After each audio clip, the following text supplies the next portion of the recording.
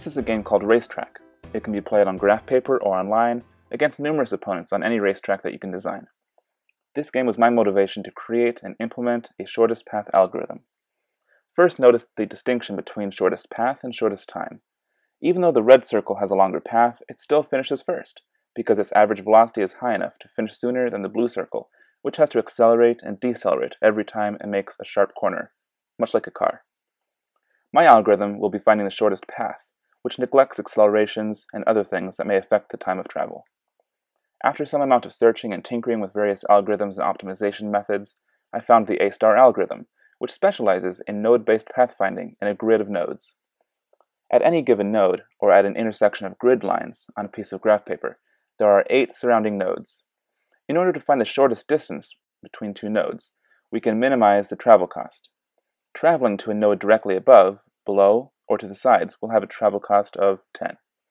Traveling to a node in the corner will have a travel cost of 14, because the length of the hypotenuse of a unit 45-45-90 triangle is 1.414, which when multiplied by my triangle length side of 10 will give me the hypotenuse length or travel cost of around 14.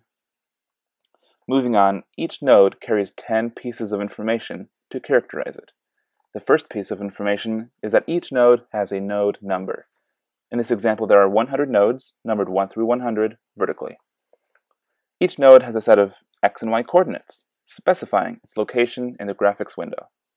The third piece of information is something called the g-cost. The g-cost is the cost to travel from the start node to the current node. And here's an example. The green node is the start node, the red node is the end node. Let's add three obstruction nodes, and finally, the blue node is our current node. In this example, the g-cost would be 20, because the start node and current node are two vertical nodes away, with each vertical node having a travel cost of 10, which makes a total g-cost for the current node of 20. The h-cost is similar to the g-cost. It is the cost of travel from the current node to the end node. In this example, two diagonal nodes are visited, followed by two horizontal nodes. So the h cost is 14 plus 14 plus 10 plus 10, which equals 48. Note that the g and h costs don't consider the existence of the obstruction nodes.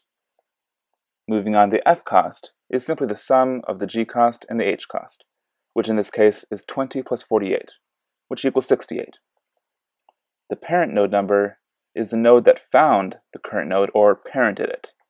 We'll talk more about this in a bit. The obstruction node lets the algorithm know if the node is an obstruction or not. And the last three bits of information are the null, closed, and open set.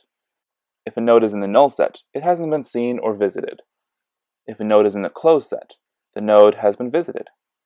Finally, if the node is in the open set, it has been seen, but it hasn't been visited yet. Now let's take a step-by-step -step view of my implemented algorithm in MATLAB. As before, I'll pick my start node, my end node, and my obstruction nodes. And now the algorithm has begun. Our current node is the start node, so we add it to the closed set. The surrounding nodes in blue are added to the open set. Each of the surrounding nodes includes the g cost in the upper left corner, the h cost in the upper right corner, and the f cost on the bottom. The algorithm searches the nodes in the open set for the smallest f cost.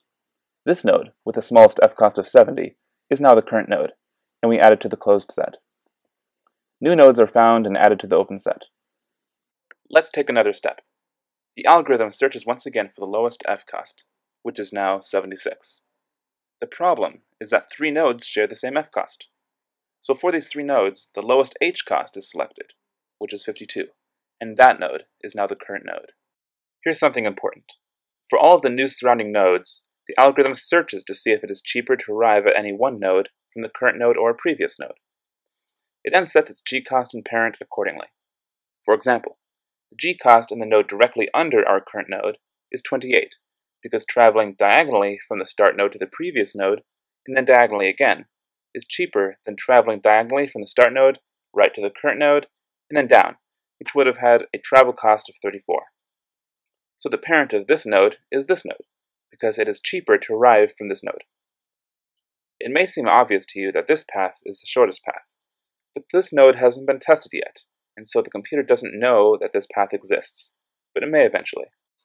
Let's finish this example.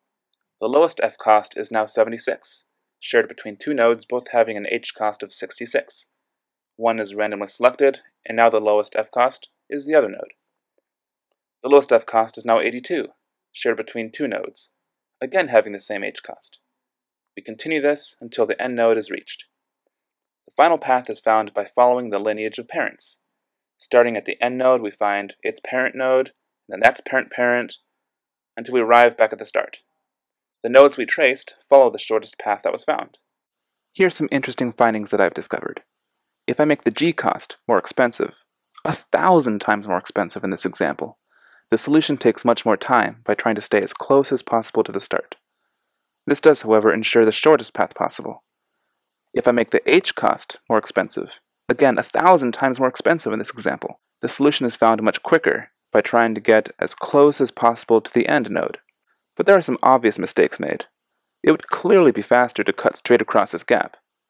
We see that an optimization problem arises on how to weight the g and f costs for the different maps it may encounter. And this is why algorithms are so much fun to play with. No algorithm is perfect, so you can always keep improving.